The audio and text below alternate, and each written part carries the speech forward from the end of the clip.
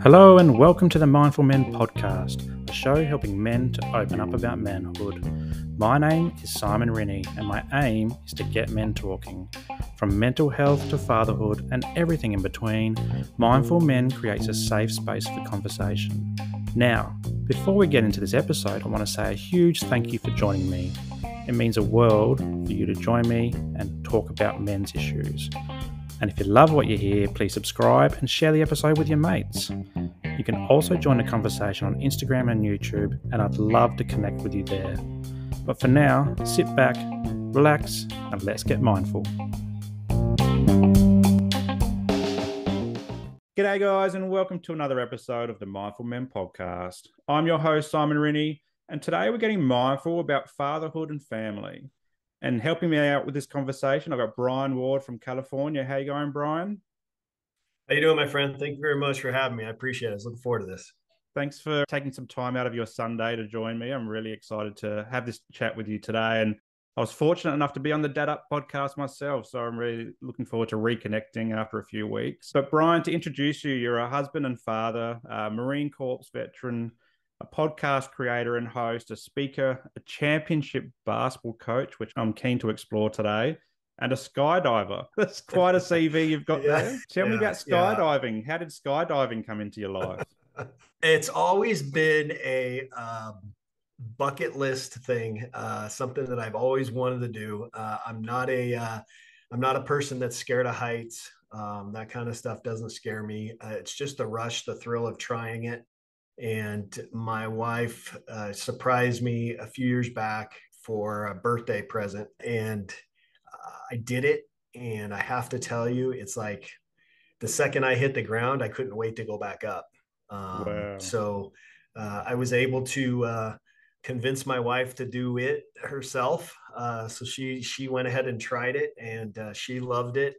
And so we're we're looking at possibly doing a jump together uh, next February on Valentine's Day to just kind of do a jump together. Um, oh wow! But it's really it's really cool because you know I'm in California, so right along the coast. I do it down in, in lower California. It's called a city called Oceanside, and it it just overlooks the ocean, and it's just I mean it's it's an insane feeling. I mean the second uh, I have to tell you, I was not scared. I was super excited until I hit that door and right when you hit the door and you realize you're about to go out that's where that's when kind of the the nerves get you but it only lasts I, I explained to people that it only lasts for a few seconds because once you're out of the plane no joke it does not feel like you are falling I mean, you're free falling at a couple hundred miles an hour. It does not feel like you're falling. It just doesn't. It feels like you're flying. And then, you know, they open the chute and you just kind of coast down and, and float down. Uh, it's just just an insane feeling. I highly recommend it, even if you're scared of heights. It's it's just a, it's just a great great thrill. So a great experience. I'm absolutely petrified of heights, and it's just just looking well, out the window of a plane can get me sometimes. My dad said to me, he's like, "Why in the world would you jump out of a perfectly good plane? Why would you do that?" yeah, no. It's just it's a lot of fun. I hear that a lot. Like a lot of people, like even the people that are scared of heights, that once they do get out there and and they feel like that floating or flying sensation that you're talking about, and then they hit the ground, and it is something that is pretty amazing. So it is on my bucket list. I just don't know how high up my bucket list it is. like I said, it's something that I just I look forward to doing, and and can't wait for my wife and I to go together. Yeah, wonderful. I'm trying to talk my kids into doing it. They just they won't have it. You know, my boys are my son, my older son will turn uh, 24 on Tuesday. My younger son's 21. I'm like, look, guys, you guys can do it. And they're like, nope not even not even going that route. We'll watch you and we'll sit there and wave at you when you're in the air, but we are not doing that.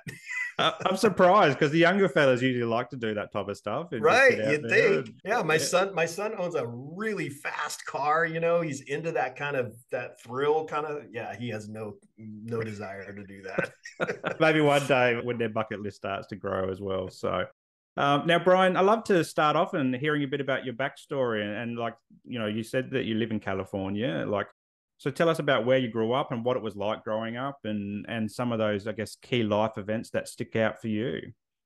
Well, thank you for asking that. Yeah, I'm I'm born and raised California kid. Um, grew up in a family that you know I have a younger sister, and um, enjoyed the beach life. You know, I was one of those kids that played sports, and then weekends I was hitting the ocean. I was surfing.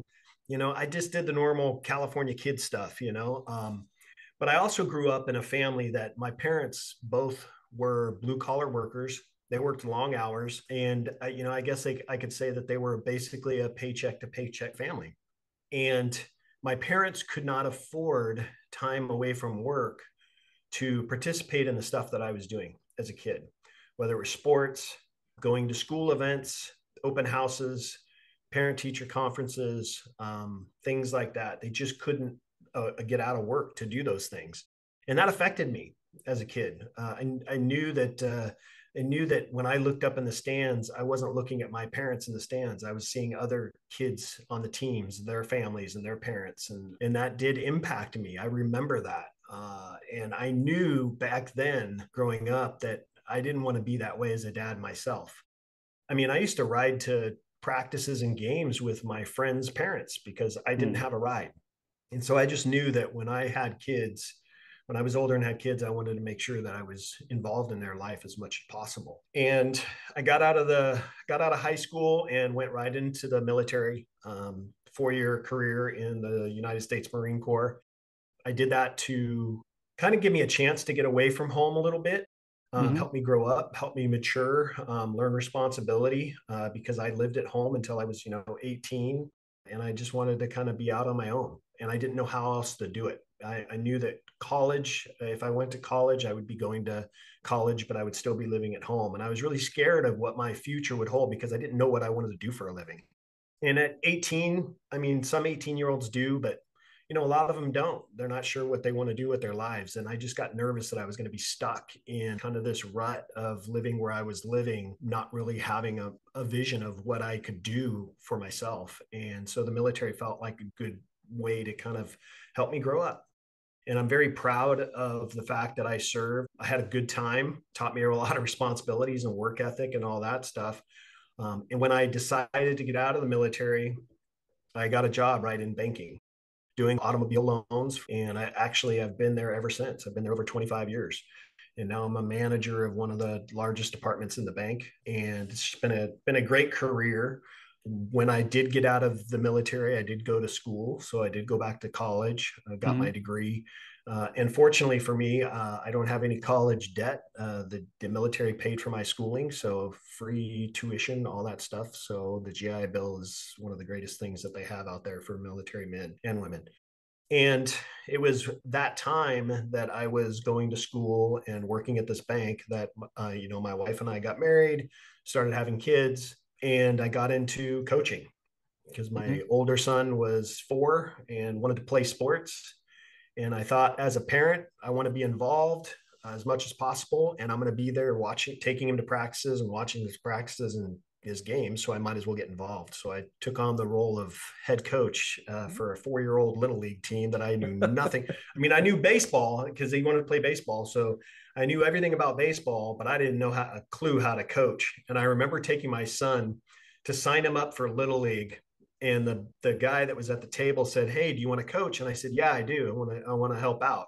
And he goes, "Do you want a head coach?" And I said, "No, no, no, no, no. I don't want to head. I don't want to be the head coach." And he's like, "Look, we need head coaches, man. We're like short. We need head coaches." I'm like, "Dude, I don't know how to coach little kids. I need to watch first and learn, and then I'll do it." And he said, they're four years old. teach them how to hit, teach them how to throw, and teach them how to run the bases. Trust me, most of the time they're going to be pulling grass and chasing, you know, bugs and everything else. So don't worry about it. They're four. So I did. And so I took on the role. Um, and I have to tell you, Simon, I can remember the very first game that we drove to, how nervous I was, my very first game as a head coach. Um, but it was a lot of fun, and I and I don't regret it. I coached for over 20 years um, from from four years old. My kids were four years old, all the way up through high school. Um, I coached, and uh, the later years it was basketball, and mm-hmm. so I coached a lot of basketball the last ten years. And that's what I coached in, at the high school level uh, as varsity basketball, and it was a lot of fun. Uh, it gave me a chance to really bond with my boys. really grow that relationship with them and spend a lot of time with them. And then once my younger son, who's now a junior in college, once he was in his senior year of high school, I kind of had this feeling that my dad role, my dad journey was ending. Even though we know it doesn't, we'll always be a dad. But I felt like my wife and I had done our jobs of raising two independent young men that are responsible and mature. Uh, so, what's next for me? Uh, and I didn't know how to fulfill that dad duty. And that's how I came up with the podcast. It was uh, something that I could do to help other men kind of give them tips and tools and strategies to really be a dad that they want to be. A lot of dads carry weight of, you know, feeling like they have to be working these 80 hour weeks to provide them for their family. And they miss out on a lot of events and things that go on with their kids. And I'm here to tell you, did it myself. I let I, I have a very successful career and I was still 100% all in as a dad. Um, mm. And so uh, just just showing dads that yeah, it's possible to have a very successful career in whatever it is you're doing, and still be an all-in dad. Um, and so that's why I started the podcast. And the podcast is you know about 162 episodes in now. Um, going for over three years, uh, show every week. It's an amazing story, and it's something that when I think about, you know, your the reason like that you wanted to be present for your kids and coach the the baseball team and then the basketball team is something that I've been actively thinking about as my kids. You know, I've got a five year old and, and, an almost three year old. She's three in a few weeks. And that's something that's front of mind for me and front and center of mind is that I want to be there for the sports and I want to be there for the pickups and and the school nights and the parent teacher interviews. It's really important for me, I guess, because because in, in some ways, like my parents were around a lot when I was a kid, but also they did work a lot as well. So dad would drop me off maybe an hour before footy practice and I'd sit at the oval by myself, maybe with my little brother if we had training that night. And he'd got run off to work, his second job. So this wasn't his first job, this was his second job. And then there'll be other times on the weekends when he couldn't come or mum couldn't come for work as well where we would be hitching a ride with other families too and and, and going to games as well and and they got there as much as they could but yeah sometimes they couldn't and and you do feel that as a child like looking out to the stands or to the side of the oval or whatever and and th- wishing that they were there to to see you know cheer you on and all that type of stuff sometimes I physically couldn't be there because I had three brothers as well. So we had a lot of sport happening in different parts of where I grew up as well. So I understood that as well. I wasn't the only boy in the family, um, but I can certainly understand, you know, those feelings inside, um, particularly for me as a as a young dad, wanting to be as present as possible for my kids. But I want to ask you, like, you know, what does it mean to you to be a dad? Um, we've all got different ideas of what fatherhood means and looks like for us. Can you think back to that day one of becoming a father and, and what it felt like, and then what it means today as well? You know as as you probably heard i take my my dad responsibilities and role very seriously. And for me when i became a dad for the first time um, you know we had a very scary situation uh, with my wife and my son when he was born. My wife had something called preeclampsia uh, where she, her blood pressure raises pretty significantly when she was pregnant with my first son. Uh, and he was actually born six and a half weeks premature Oh, wow. They had to take the baby. Uh, and when he was born, he was under six pounds. His body was so small and underdeveloped that he had one lung that was collapsed. And so he couldn't function on his own. So they were having to breathe for him. They had to put a little thing over his face and, and help him breathe. Uh, and he was in the NICU, uh, the neonatal intensive care unit, uh, for two and a half weeks. And he was on a what is called an oscillator. It's basically a ventilator for babies. And so that was a pretty traumatic time for my wife and I having our first child and going through this experience. Like we didn't know what to do. We were kind of lost and, and struggled with that. But, you know, my son was a strong young baby. He came off just fine. Uh, he was done in the NICU after two and a half weeks and came home.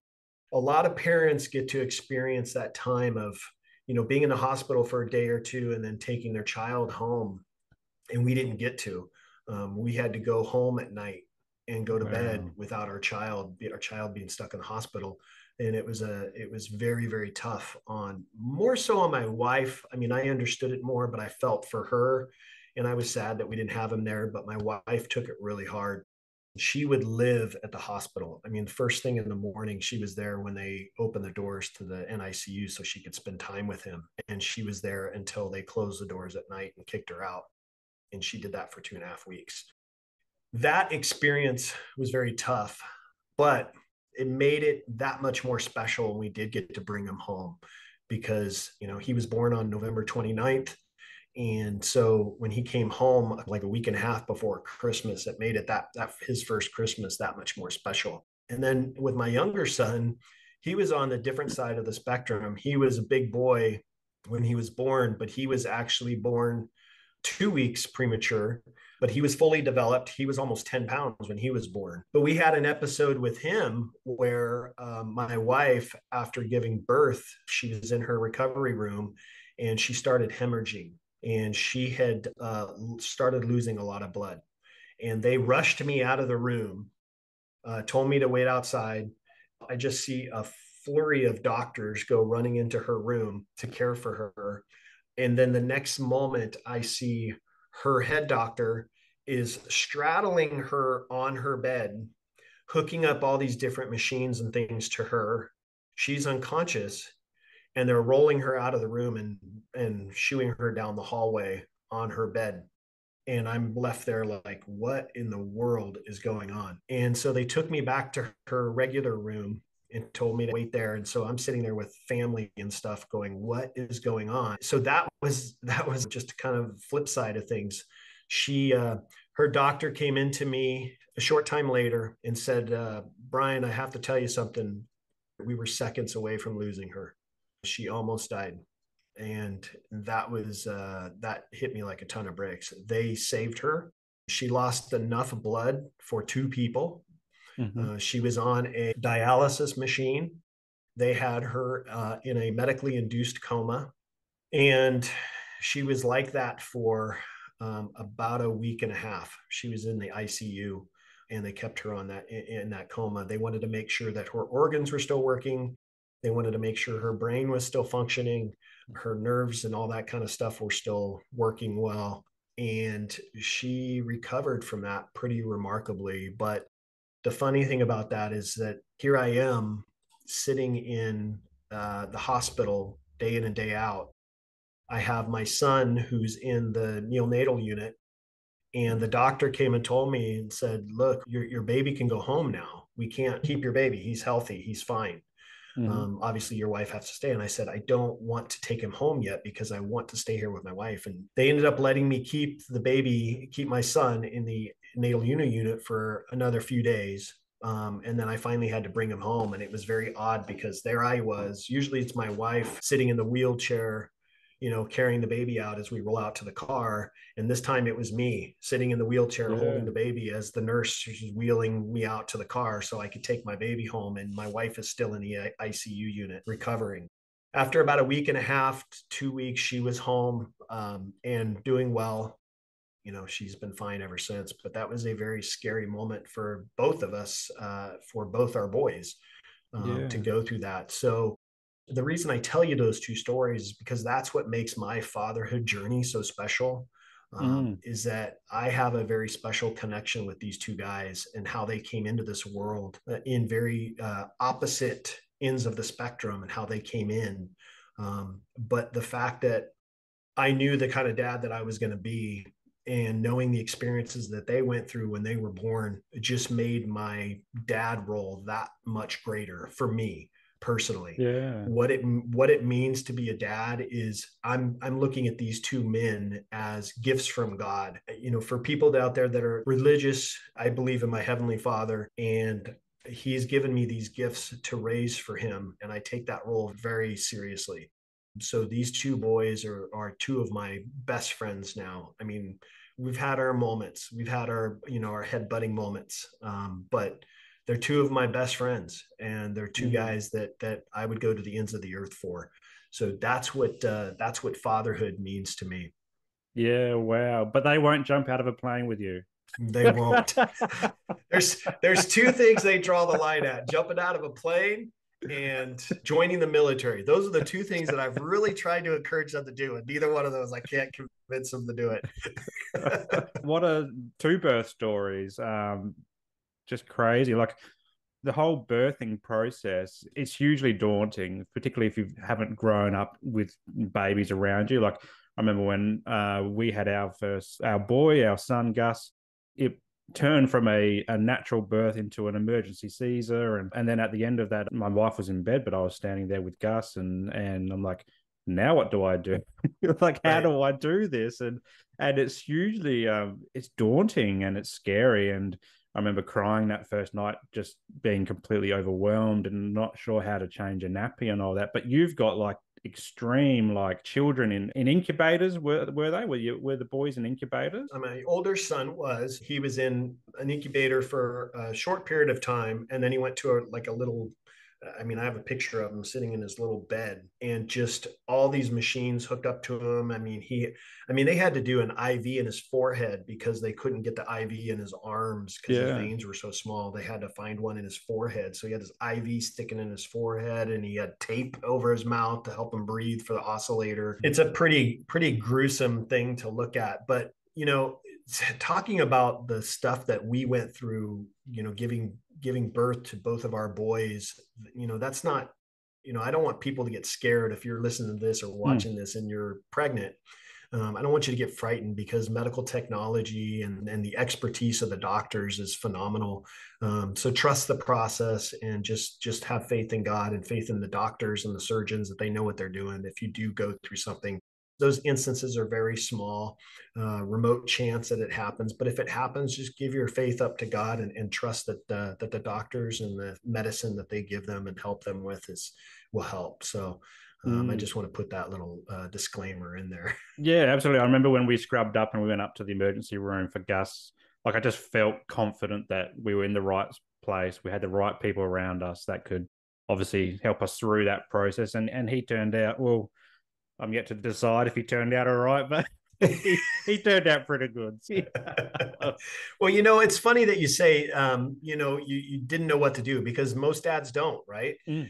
they say that uh, that in school you're given a lesson and then you take the test. Well, when you when you have a child, you're given the test, which is that child, and then you and then you get the lesson, which is how to take care of them, right? So yeah.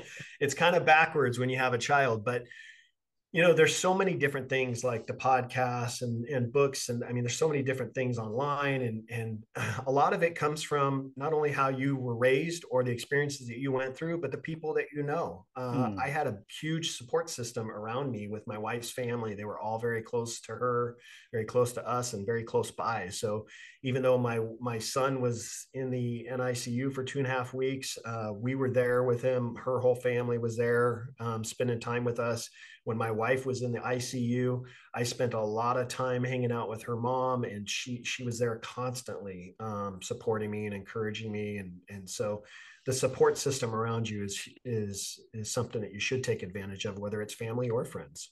Absolutely. Did you do much reading up about how to be a parent before the bubs come along? No, I read a couple of books, uh, but I felt like you know the books were. Uh, I got some info out of them, but I just felt like it was kind of one of those things where you just have to jump into. It's like kind of like jumping out of a plane, right? you don't really know how to do it. You just got to kind of follow what the instructor says and and and hope for the best. Uh, that's kind of the way. Perfect analogy of being a parent. right. That's kind of the way it is with parenting. You just kind of you know follow the experiences that you had and the people around you that give you advice or tips or tools or strategies or whatever or podcasts and then hope for the best. Hope that you do a good job. As parents, we're going to fail. We're going to stumble. I stumble all the time. I, I, mean, you'd think I'm a, I consider myself not a uh, licensed therapist, but I consider myself an expert dad. And even as an expert dad, I still stumble. I still stub mm. my toe constantly with my boys. So you just uh, you just have to uh, learn to grow from it and know that uh, if you make a mistake, own it and move on.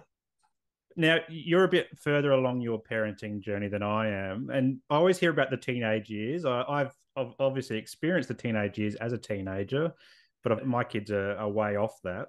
Talk us through some of the teenage years. Did you have a lot of challenges there with the boys, uh, or was that an easy period for you? Yeah, no. Good luck. yeah. So um, the teenage years are interesting because I find that the teenage years are, um, well, even even right before the teenage years, your kids are starting to really discover who they are. Right? Mm-hmm. They're trying to figure out who they want to be, who they are as a person, trying to figure out their identity, trying to learn different things still about maturity and about growing up, taking on responsibilities, whether it's chores and all that.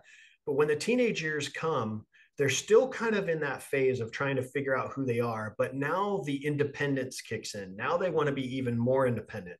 So, parents, when you're dropping your kids off at school and you're used to giving them a hug goodbye or whatever, that may stop. That could very well, I, am probably pretty confident that's going to stop. The kids don't want to do, have anything to do with you they, because here's the thing don't take it personally. They just want to be independent.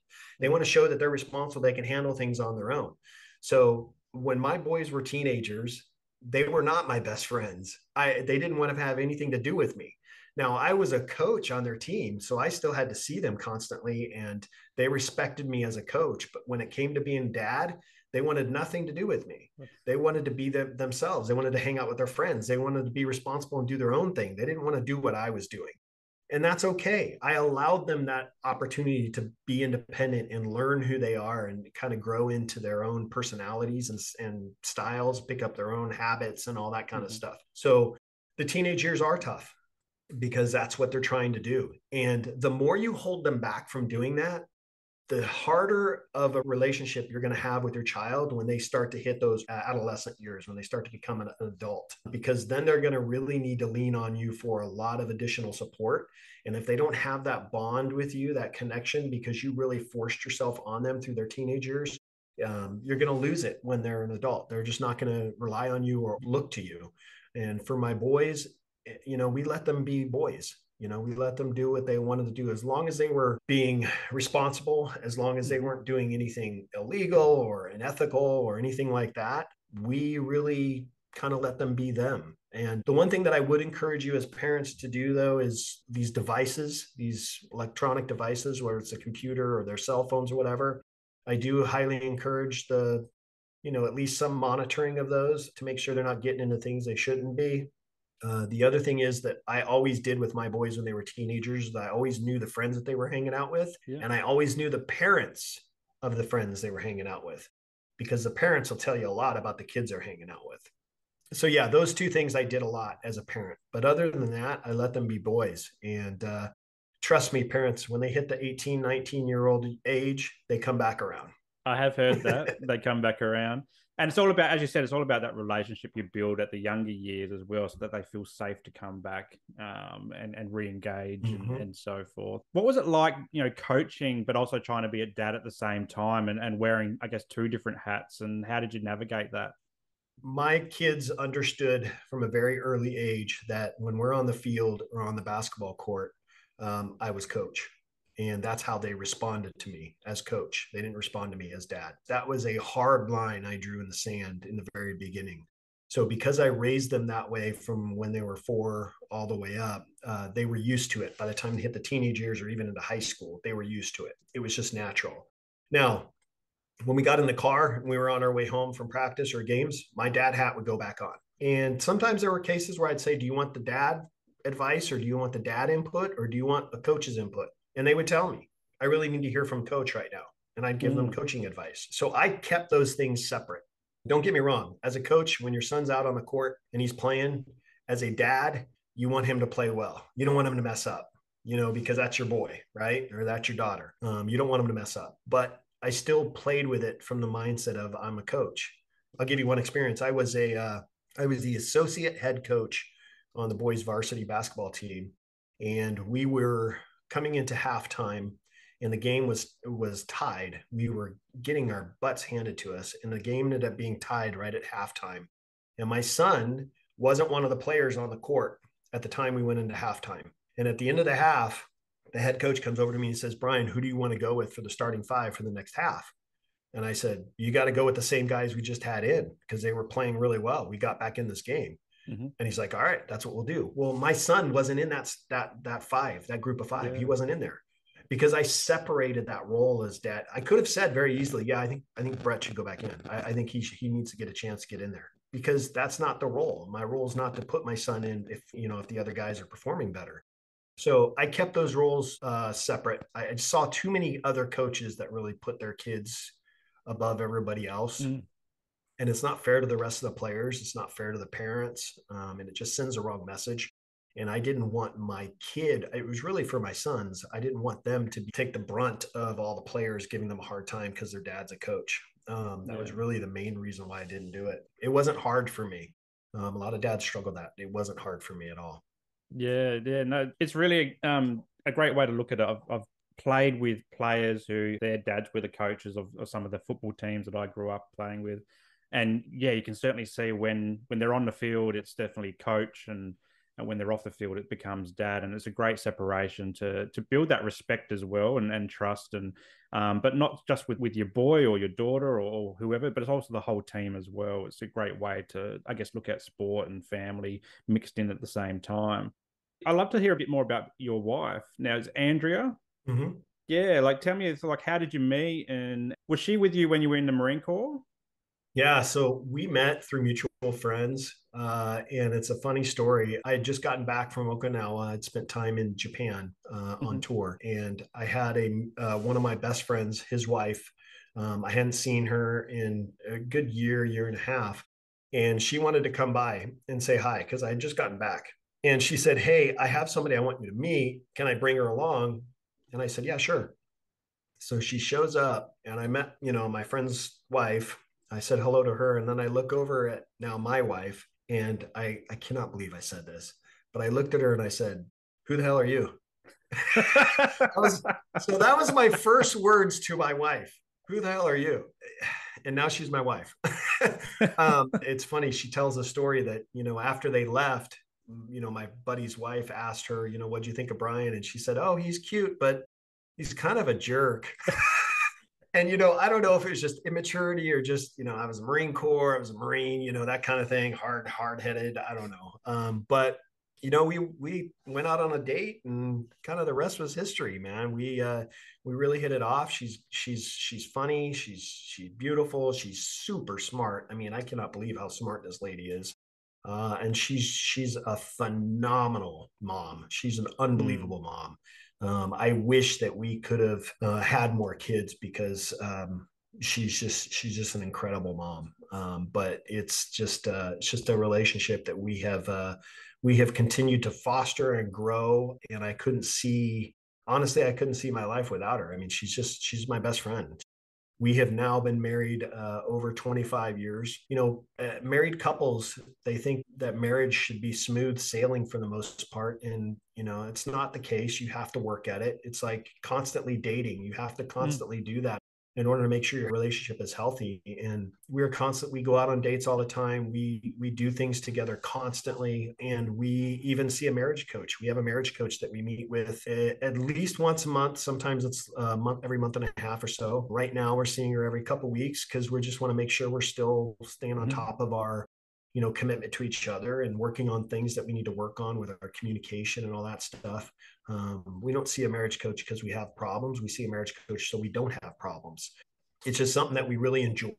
The marriage coach is a she's a licensed you know marriage therapist but you know she's our coach and and um, we enjoy meeting with her. Um, it helps us stay committed to each other and it helps us continue to work on our relationship. I mean, that's something that's super important, especially going, you know, working on year number 26. You know, it's super, super important for us. And it's important for our boys to see that too. Just raising our boys and seeing the relationship that we have with each other sends the message to them of what kind of relationships they should have with their wives.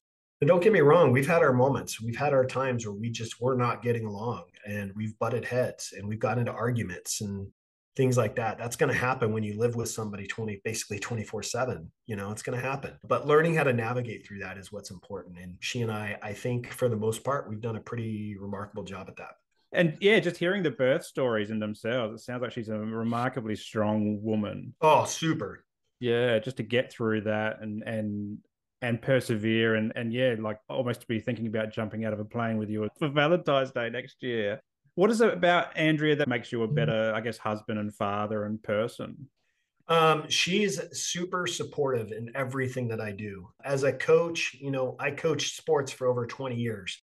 And when you're a coach and you're married, we consider our wives uh, coaches' widows. mm. because they're you know they're home at night you know when we're off running practices or games you know they're sitting at home and um, she always supported me every single time you know every year when when a sport came up or a team came up that i was going to coach she was super supportive. I continued coaching even after my boys were out of high school. I still stayed at the high school level coaching and uh, she would still come to games and watch even though her boys weren't playing. She would just come there and support me. So she has been super supportive and she has also helped me learn how to be a dad. Being a marine corps veteran uh, i have kind of a, a temper uh, through the years and she's helped me kind of keep that in in check and under control. So there's times when i've you know gotten frustrated or about to lose it and she'd tell me she'd push me aside and say let me take this. You go you go take a breather. Um, so she supported me in that way. And then the other way is when i came out of the marines i i drank pretty heavily. Uh, i was a drinker and I mm-hmm. drank through a lot of our marriage. Um, growing up with my boys, even though I was coaching and all that, I didn't, I wasn't an alcoholic in the sense that I would show up to practices or games with alcohol on my breath. I didn't do that kind of stuff, but I was the at home drinker. So when I came home, I was drinking a lot and she helped me. She told me that, uh, Hey, you know, I think you need to cool it with this stuff and she helped me quit drinking and i've been sober now for over 13 years so um, wow. it's something that i did for her and for our family um, but she's helped me grow a lot as a dad as a person um, in the different avenues that i've gone down whether it's coaching or the podcast she's super supportive i mean she gives me a lot of the questions for my guests when I tell her the guests I'm going to have on, she'll she'll she'll tell me, "Oh, you need to ask this or you need to ask that." She's so supportive. She's she's incredible. That's amazing. And that support is just it's fundamental to everything. We all of our, I guess, chasing our dreams and so forth. Like we often, when we finish school and we become parents and adults, we kind of lose track of those big dreams and we don't really pursue anything because we just fall into autopilot, groundhog day kind of mode. So it's wonderful mm-hmm. that she's there in your corner, helping you follow these dreams and helping dads all over the world um, you know, through your podcast, for example, to I guess better themselves in their parenting journey or understand themselves a bit more, and and that's an amazing thing for that support. And my, my wife Rachel, she's um supporting me through Mindful Men and, and developing my business as well, and I would have never been in this space. I would have been stuck in my nine to five um, that I was working previously without her support. So I guess having, as you're saying, having a good, solid communication and supportive relationship with each other to the point where you're in coaching to avoid being in those bad times. Um, that's something that a lot of guys can really take some some value out of. And thanks so much for sharing that about her. Yeah, it's if I could give any piece of advice, if you have some spare time, whether it's an hour or whatever, a month, take some time and, and look for a, a, marriage therapist. Uh, trust me, just having that person to go talk to. You know, sometimes we sit in these sessions and we don't have anything to talk about. She'll ask us what's been going on, what's happening. She'll ask us questions, and we just have really nothing to talk about, but that's okay. But there are plenty of times where she'll help us through different conversations that we had or things, little, little disputes that we got into or little arguments that we might have had nothing major you know you know you guys out there watching if you're married and you're not doing some type of coaching with your spouse, um, I highly recommend it. It's super healthy, super natural, and it'll just help you guys last longer together in a healthy, loving relationship. Yeah, I had an episode with Bart Walsh. He's the head fitness coach of Jetts Fitness Australia. And and he was talking about the value of coaches in our lives. You know, we we grow up and we've got a lot of coaches in our lives. We've got mm-hmm. teachers, we've got parents, we've got sports coaches. Maybe it's even like people like art tutors or music tutors. But then when we become adults, we kind of lose all that. He, he said it's great to have different types of coaches in your life to keep that you know, growth going and and someone to bounce ideas off. And you know, a therapist or a relationship coach or, or mental health person or, or anything like that is a great way to to bounce ideas off as we get older because we shouldn't have to do it on our own just because we're adults. Think about um, professional athletes. Professional athletes are paid millions of dollars because they're talented in the sport that they play, right? But guess what? They have coaches. Tiger mm. Woods is one of the greatest golfers of all time, but guess what? He still had a coach. He had a coach to help him. When we go to the gym and we want to get into shape, we don't know what we're doing. We hire a trainer, we hire a coach. So why not have a coach in our marriage? Yeah, we don't definitely. know what we're doing. We're going through the work, you know going through the motions as a couple. So we have a coach that helps us do that.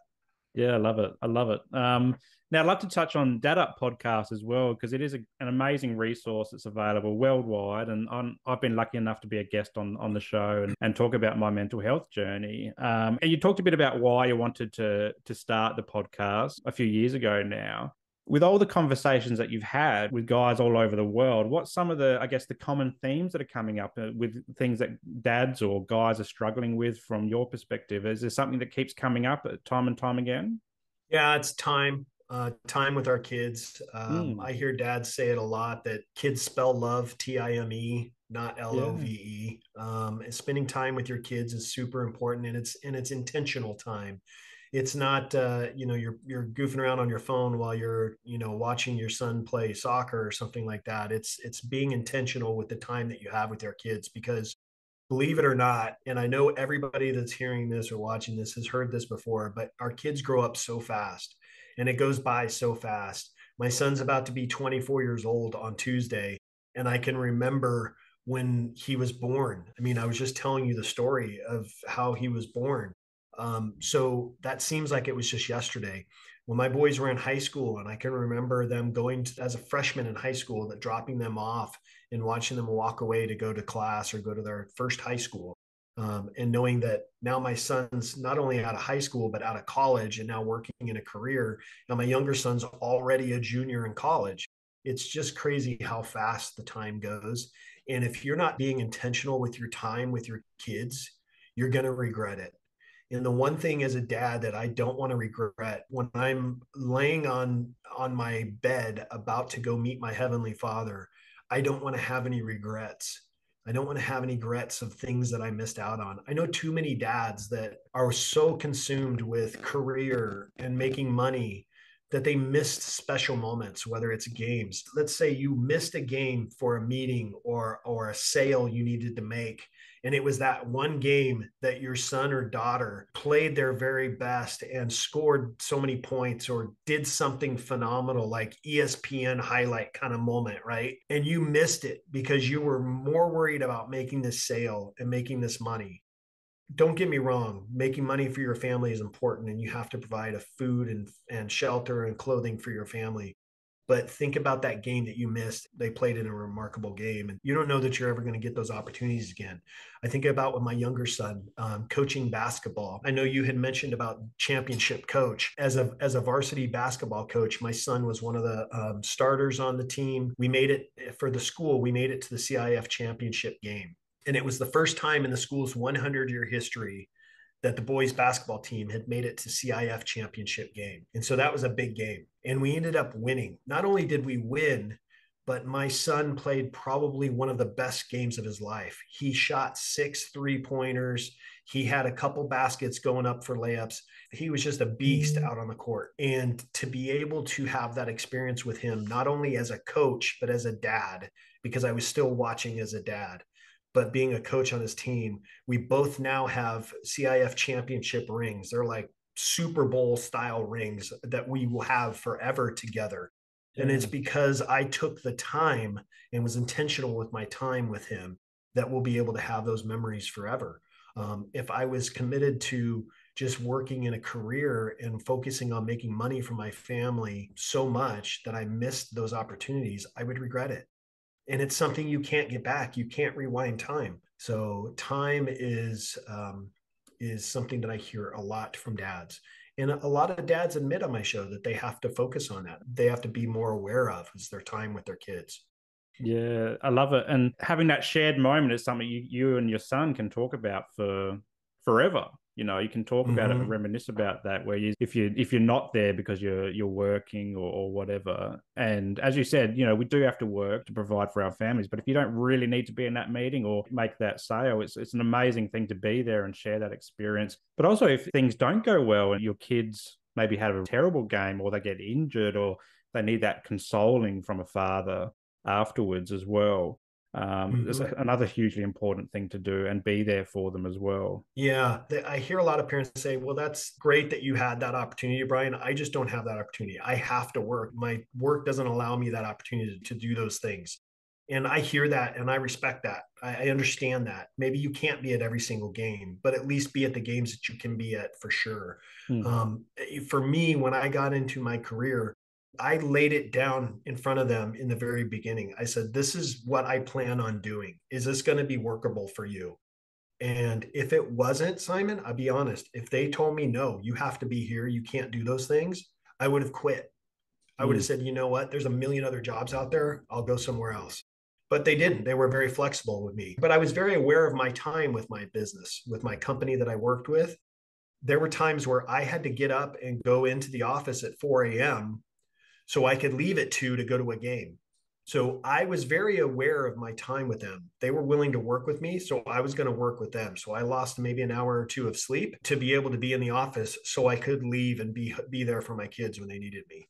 So I just made those sacrifices and those those are things that that parents can try to work through, kind of find out what ways that they can they can sacrifice different areas of their time to be there for their kids and still be there for their job. We, have been fortunate, I guess. One of the positive things that's come out of COVID, for example, is that particularly in Australia, we've done a lot more remote working, a lot more online stuff where we can work from home and balance family life a little bit more easy. Has that been the same case over in the US? So you've been able to work more remotely since COVID? Yeah, I mean, that's been a huge addition to our company. Um, I have a staff of eight people, and um, I still have them on what we call a hybrid schedule right now. So they come in the office three days a week and then they're home two days a week. I have one one gal that has two younger kids at home and she's a single lady. Um, she has no family in California. So she's by herself. So I've allowed her a little bit more flexibility to work from home. But I'm also not a babysitter for them. So mm-hmm. I've told them I'm not going to micromanage you. If you're getting your job done at home, then I'm fine with it. And you can work as home as, as much as you need to.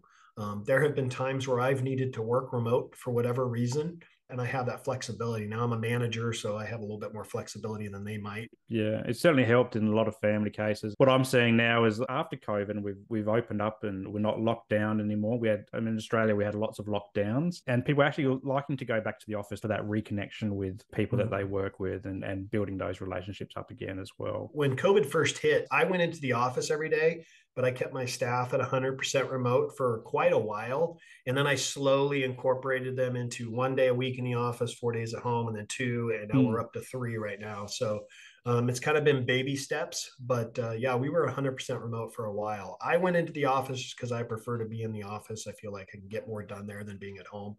Mm-hmm. Um, but everybody else in my staff was 100% remote in the very beginning. Yeah. Now, Bryan, I could talk fatherhood and family and, and work all day with you, but I appreciate that it's a Sunday over there and you probably need to get back to Sunday duties. All so good. Oh, all good. A, cu- a couple more questions and I'll let you go. Thinking about your fatherhood journey and family journey, what's something that you know about yourself now that you wish you knew when you first started? Like what's something that sticks out to mind going i wish i could just tell myself when i was starting out as a dad that this didn't matter or that didn't matter and and and things will be okay. Is there something that sticks out for you? Yeah. If it doesn't matter five years from now it's not going to matter five minutes from now. Um, so one of the biggest things that I take away from my fatherhood journey now that I'm older and my kids are older is patience. I had to mm-hmm. learn a lot of patience, um, and that that came to me over years. Um, I was a very impatient guy. As a dad, I was very impatient. That is something that I wish I had when my boys were younger, a bit more patience with them mm-hmm. because I was I was tough to deal with at times. Um, I was very impatient, and so any dads out there, you know what, man, be patient. They're little, they're kids. They're just wanting to be kids. Um, so be patient with them and uh, yeah, it's like I said, if it if it's not going to matter five years from now, it doesn't matter five minutes from now. Yeah, like that. And I guess if you are struggling for patience, maybe go and coach a four year old sporting team. Right. Right. Because yeah. you'll need a bucket loads of patience for that. Right. uh, and one more question is, is I always like to finish off and, and hearing my guests to plug something that makes you feel good. So it doesn't have to be anything to do with fatherhood or family or anything like that. It's just something that is giving you some good vibes at the moment that you can pass on to some of our audience so that they maybe can tune into a, some music or a book or a TV show that you're watching or a self care activity as well. It doesn't have to be anything uh, material, it can be just something that you do for yourself. Yeah, um, I'm a big firm believer in journaling. I journal every single day. It's kind of grown on me over the years. I start it in the morning when I first get up because a lot of times in the morning when we first wake up, we are thinking about the stresses of the day already, thinking about what you have to do with the kids or your family or work. Uh, and I find that journaling kind of helps um, relieve that stress, gets everything that's on my mind out on paper so I can start the day fresh in my head. So, yeah, I start off every day with journaling. I've had friends of mine tell me that I should be journaling at night. I actually don't, but um, I've had them tell me that journaling at night too, like gratitude things, things that you've mm-hmm. accomplished during the day that you're proud of. Um, so that's obviously mm-hmm. something that's helpful. But for me, journaling is a huge part of my life. And right now, I'm journaling throughout the day. So it's just a little thing that I do on my phone.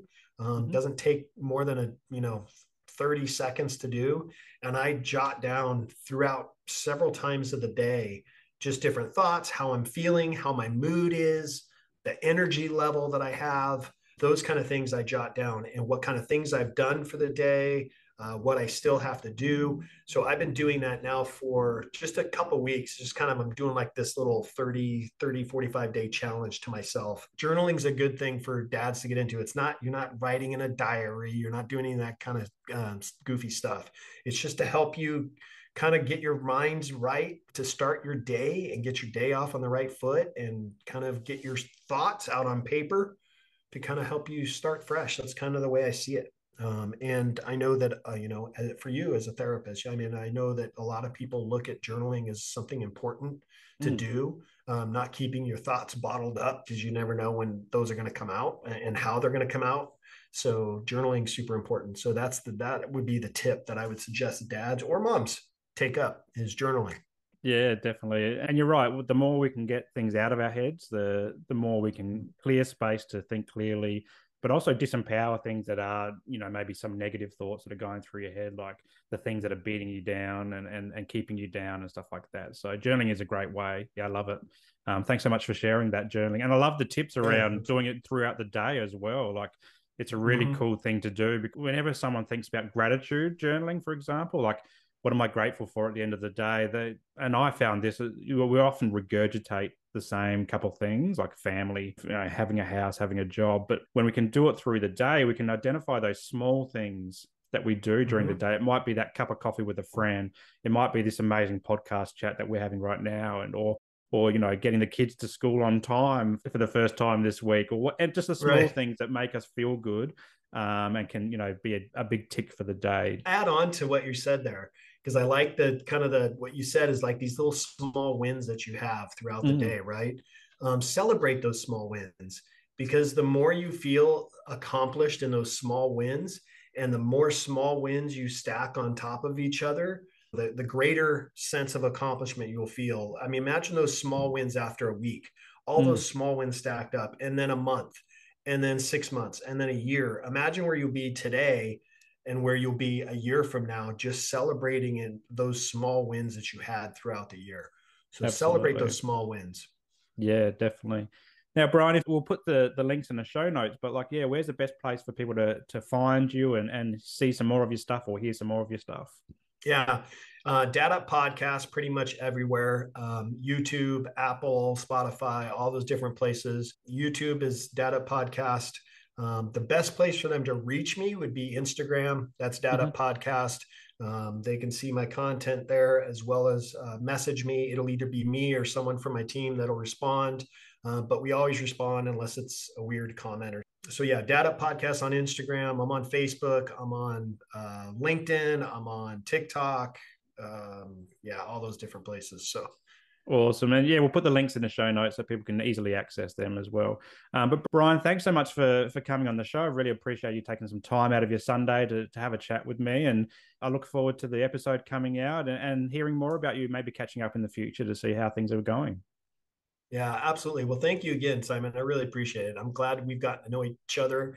Glad we've gotten to uh, a chance to uh, be social media friends and uh, virtual friends. One of these days, I'll have to take a trip over there and, and yeah. we'll have to uh, break bread together. Uh, but thank you very much for having me on the show, brother. I'm, I'm proud of what you're doing. Keep it up because it's needed. The things that you're doing right now, helping people and helping men in particular, is needed. Um, so your your work does not go unnoticed. Thank you.